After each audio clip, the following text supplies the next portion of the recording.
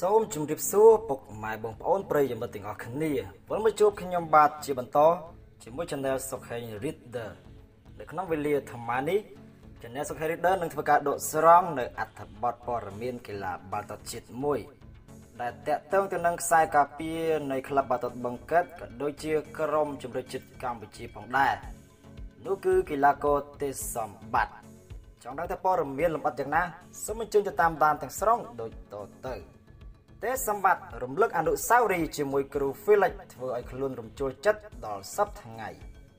ខ្សែការពារជំរឿជាតិកម្ពុជាទេសម្បត្តិរំលឹកអនុស្សាវរីយ៍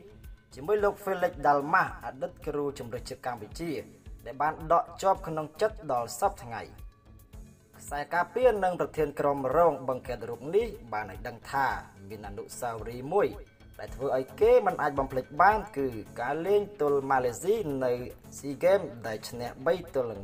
1កាលនោះគេប្រឹងលេងទាំងរបួសហើយក្រោយចប់ការប្រកួតពេលសម្បត្តិកំពុងអង្គុយយំដាល់ម៉ាស់ក៏ដើរមកដល់ហើយសួរគេថាយំនឹងឈឺរបួសឬរំភើបសម្បត្តិបានឆ្លើយថាឈឺរបួសផងរំភើបផងក្នុងអំឡុងពេលនោះមនុស្សគ្រប់គ្នាបានទៅដល់បន្ទប់សម្រាប់អស់ហើយ ប៉ុន្តែដាល់ម៉ាស់មិនបានទុកសម្បត្តិចោលនៅទីនោះម្នាក់ឯងឡើយលោកបានបណ្ដាសម្បត្តិទៅបន្ទប់និងរងចាំមើលកីឡាកររូបនោះដើរចូលបន្ទប់ផុតទៅលោកដើរចូលបន្ទប់តាមក្រោយរំលឹកថាដាល់ម៉ាស់បានចែកផ្លូវពីគ្រូជំនឿជាតិកម្ពុជា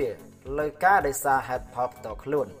យ៉ាងណាពេលនេះកម្ពុជាមានគ្រូបង្វឹកថ្មីគឺលោក Ryu Hirose ដែលជាជនជាតិជប៉ុនផងដែរ បាទនេះគឺជាការបាទរំលឹកនៅអនុស្សាវរីយ៍ពីសំណាក់កីឡាករខ្សែការពារក្លឹបបាល់ទាត់បង្កិតក៏ដូចជាក្រុមជម្រើសជាតិកម្ពុជាទេសសម្បត្តិជាមួយនឹងអតីតគ្រូបង្វឹកក្រុមជម្រើសជាតិកម្ពុជារបស់យើងគឺ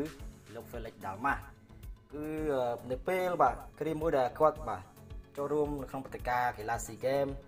នេះឯប្រទេសហ្វីលីពីនដែលកាលនោះគឺក្រុមជម្រើសជាតិកម្ពុជាបានយកឈ្នះទៅលើជម្រើសជាតិម៉ាឡេស៊ីបាទគឺ3ទៅ1 ហើយនៅពេលដែលគាត់ចប់ការប្រកួតបាទកីឡាករទេសសម្បត្តិហ្នឹងអង្គុយជុំនៅកន្លែងមួយព្រោះដោយសារពេលនោះគាត់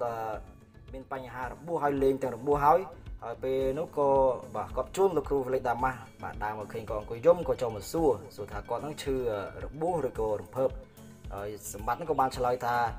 បាទឈឺរបួសផងនិងរំភើបផង ប៉ុន្តែអនុស្សាវរីយ៍ដែលសំខាន់បំផុតនៅពេលដែលបាកីឡាករផ្សេងផ្សេងទៀតបានចូលដល់បន្ទប់ផ្លាសម្លេងទៅអស់ហើយគឺនៅឡើយតែសម្បត្តិទេគឺលោកគ្រូហ្វីលីតាម៉ាបានបញ្ជូនគាត់បានបណ្ដាគាត់ទៅដល់បន្ទប់ផ្លាសម្លេងពាក់បានគាត់ចូលទៅតាមក្រោយនេះគឺជាអនុស្សាវរីយ៍ដែលក្តុកក្តួលក៏ដូចជាមិនអាចបំភ្លេចបានបាទពីសម្ដេចកីឡាករទេសសម្បត្តិជាមួយនឹងអតីតគ្រូបង្វឹកក្រុមជម្រើសជាតិកម្ពុជាលោកហ្វីលីតាម៉ាខ្ញុំបាទក៏សូមបញ្ចប់អត្ថបទព័ត៌មានកីឡាបាល់ទាត់ជាតិមួយនេះត្រឹមតែប៉ុណ្ណេះ ចុងក្រោយសូមបងប្អូនប្រិយមិត្តទាំងអស់គ្នាកុំភ្លេចជួយចុច Subscribe ហើយនឹងដាក់សញ្ញាកណ្ដឹងម្នាក់មួយផងដើម្បីទទួលបាននូវវីដេអូថ្មីនិងភ្លាមៗមុនគេពី Channel Sokai Reader សូមអរគុណសម្រាប់ការទស្សនាសូមជម្រាបលា